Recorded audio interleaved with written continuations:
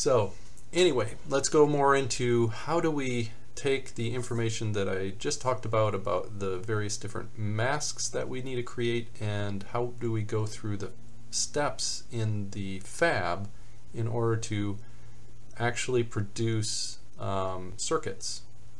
So the first thing we do is we start with a blank wafer. So it's basically just silicon and it's uh, p-type silicon and we'll go through the process or steps on building an inverter from the bottom up and the first step will be to form the N well that we're going to need for the PMOS transistors.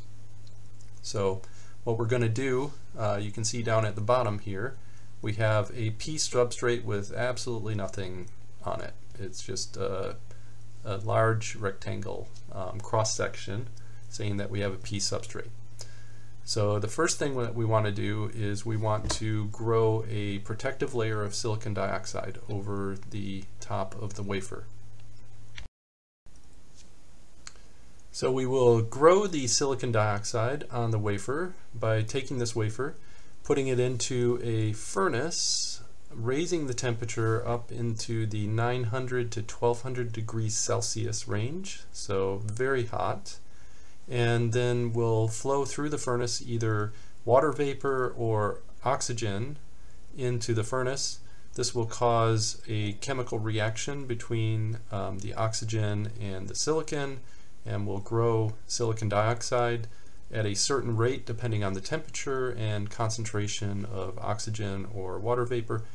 And uh, once it gets to the thickness that we want, then we um, stop the flow of the oxygen and cool down the, the wafer and we can pull it out and we have our P substrate with silicon dioxide on it. So next we will spin on photoresist.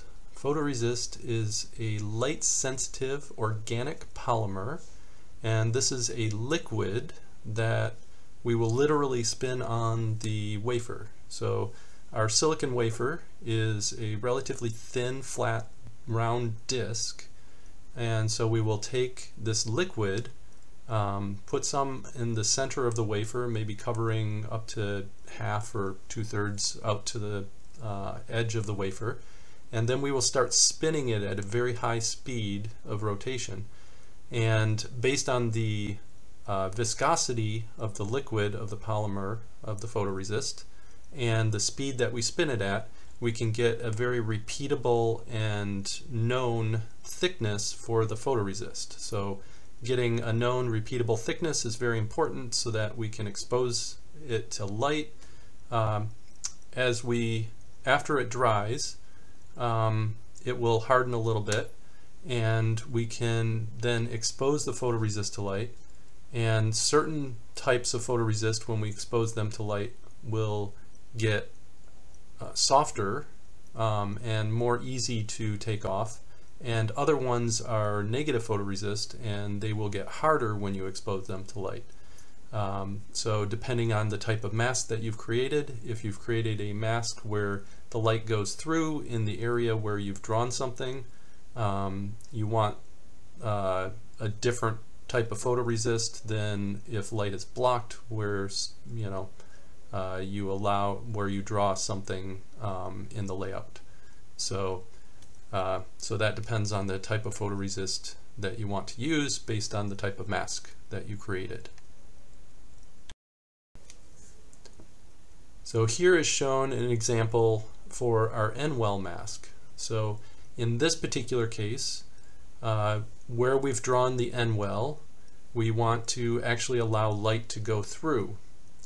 So we'll be using the type of photoresist that softens when you allow light to go through the mask. So anywhere you've drawn the N-well um, layer in your layout, uh, you will get um, an area where light will go through and in all other areas uh, the light will be blocked and so after you've exposed the photoresist you can now now you can bathe the photoresist in a different liquid that's a developer and this will this developer will take off the photoresist in the area where the photoresist has been um, softened, um, in this case in the area where you've exposed it to light, and then it will leave the photoresist in all other areas. So now we have photoresist gone where we've exposed it to light and photoresist that stays in, any area that wasn't exposed to the light.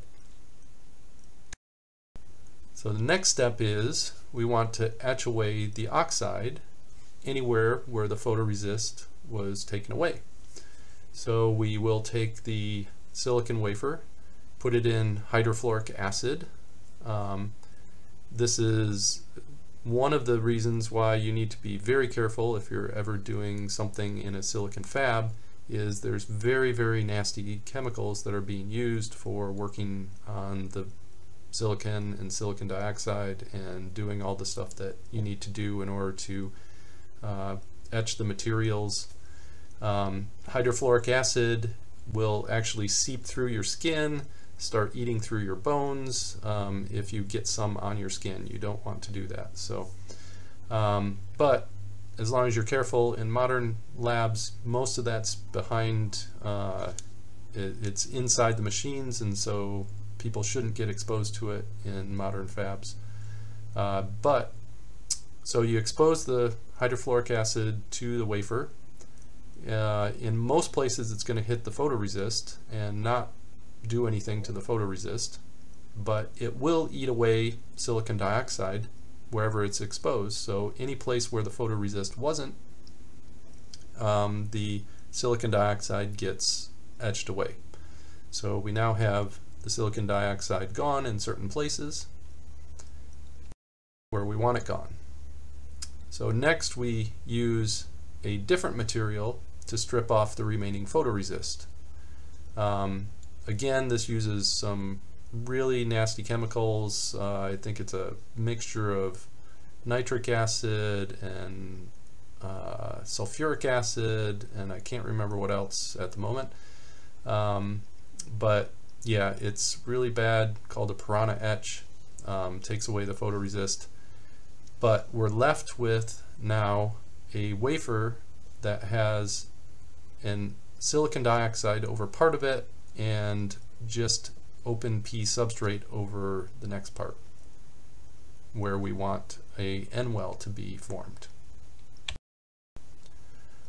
So the next step is forming the N well. So this can be done through one of two ways. Uh, one is called diffusion, or the other one's called ion implantation.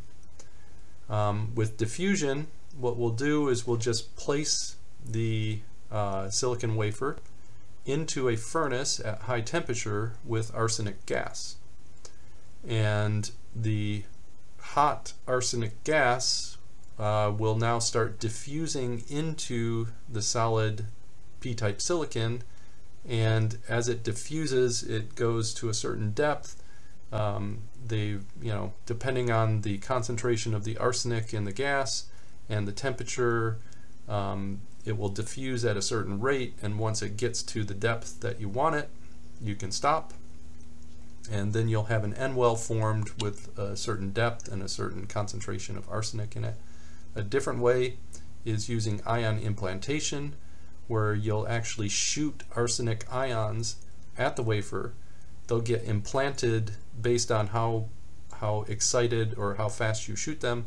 They'll get implanted to a certain depth and that will uh, give you um, the, the N well depth that you want.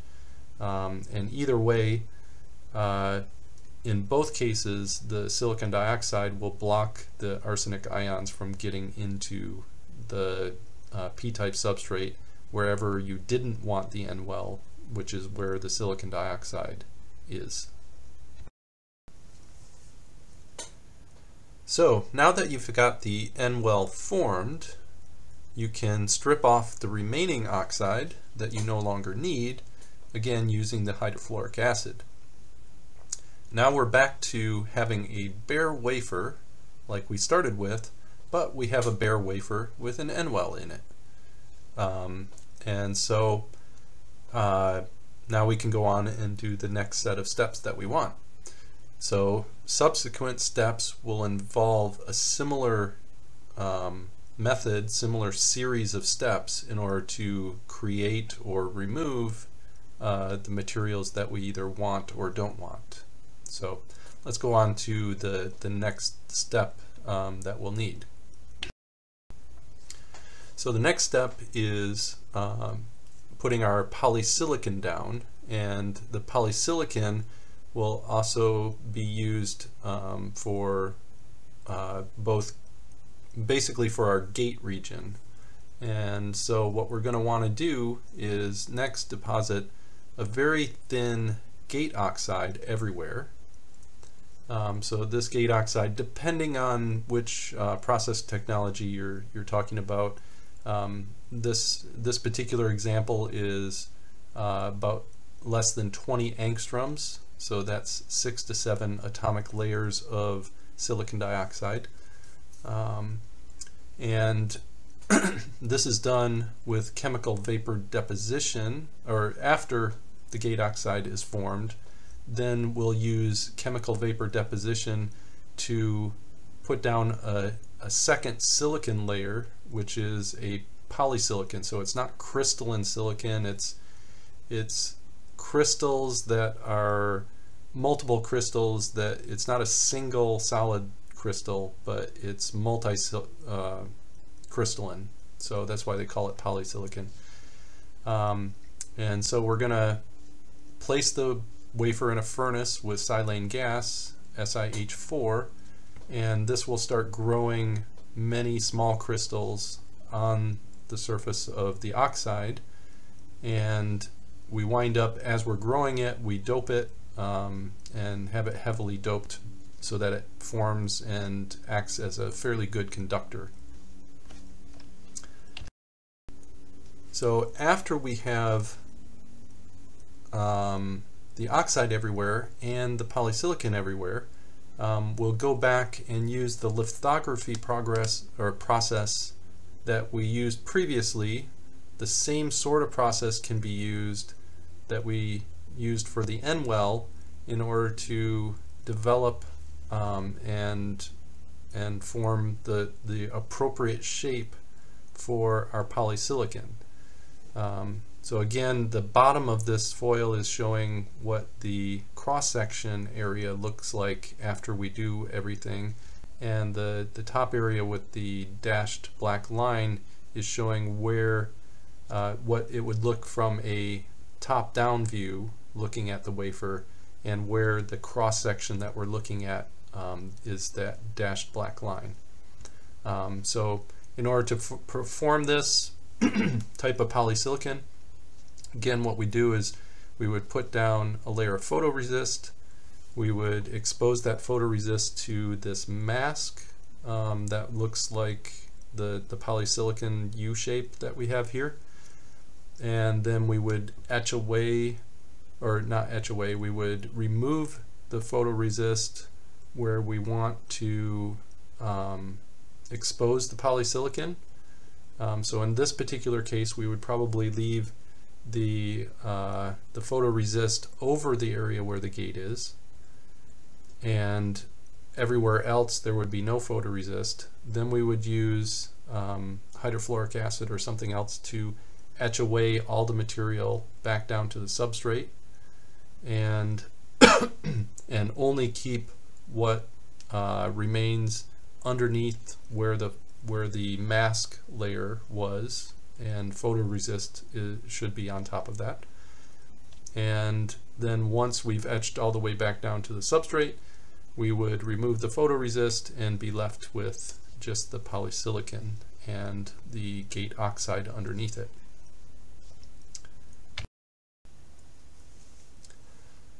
So modern processes uh, use what's called a self-aligned process. In effect, um, by patterning the gate region as early as they do, um, they can now use the gate oxide and the polysilicon over it um, as in effect a mask so that the N plus and P plus regions where you want your source and drain for your NMOS device and your PMOS device, uh, those will be self-aligned to the gate. You don't you don't have to individually define where the source and drain are and try to align it to the gate before you form the gate. Since the gate's already there, we can just expose a given region and then when we implant um, the N diffusion or P diffusion, it will automatically wind up being surrounding the, the gate that it's uh, involved with. So we'll go through that in the next couple slides and I'll show you how that, that works. So for our N diffusion, um, we basically uh, pattern, we've already had our uh, gates formed.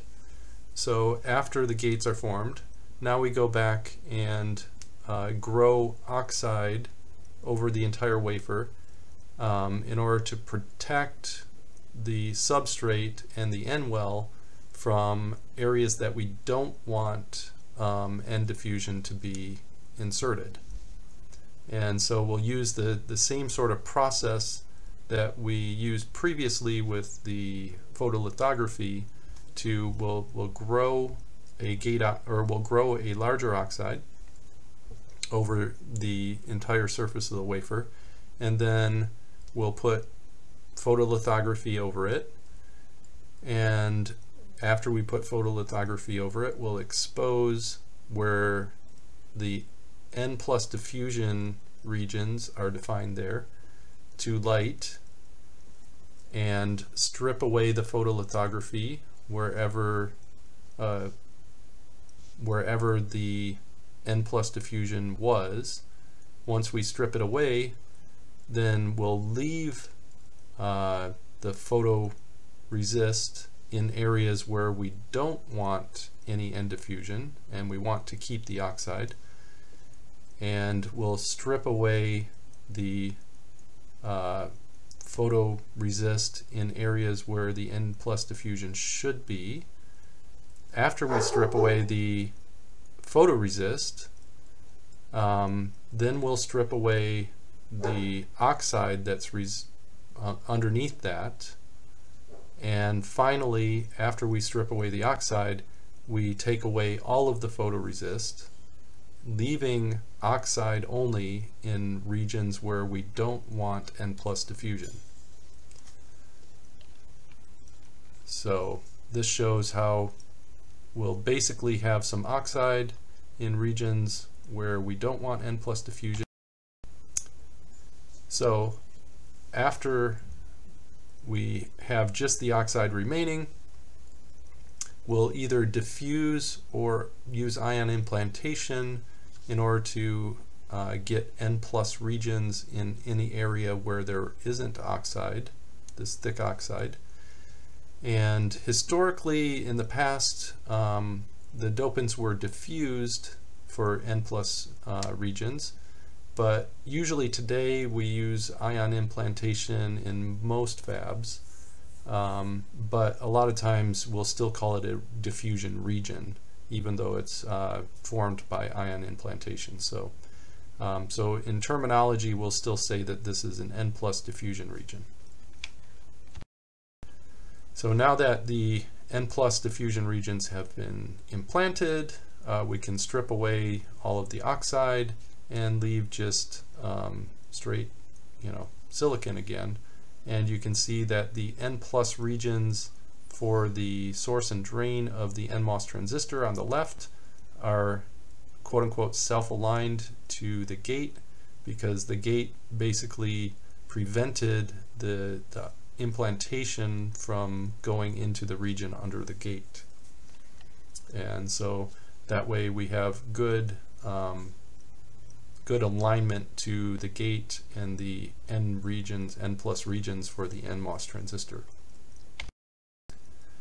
So here I'm not showing all of the steps, but this the P plus diffusion will be created through a similar set of steps as we did to form the N plus diffusion.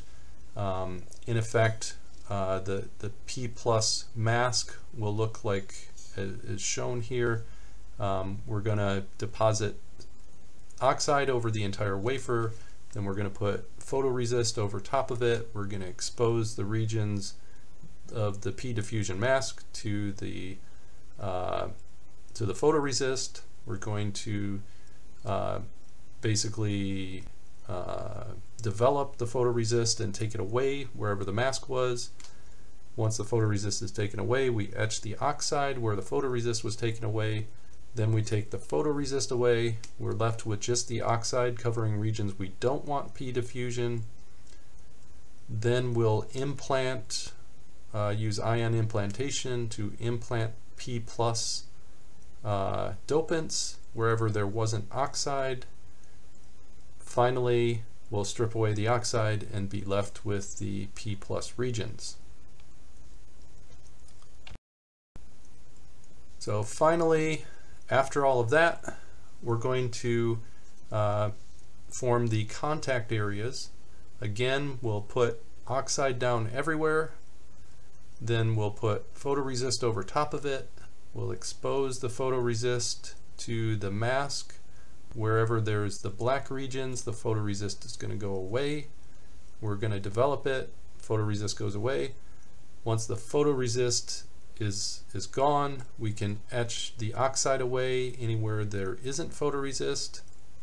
And, you know, basically that oxide will expose the P plus and N plus regions for the metal to contact it.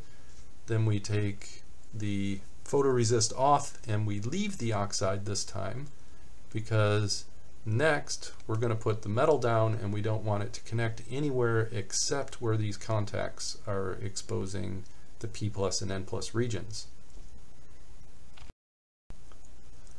So finally, now we can put down metal um, and what we're going to do is we're going to put metal everywhere um, and then after we put metal everywhere we're going to put photoresist over top of it. And we're going to expose that photoresist to an inverse of this particular pattern so that the photoresist will stay wherever we have drawn this uh, blue um, shape and there will be no photoresist in the other places. Um, so after the photoresist is taken away, we can etch the metal away in any region where there is no photoresist and we leave the metal where the blue shapes are shown.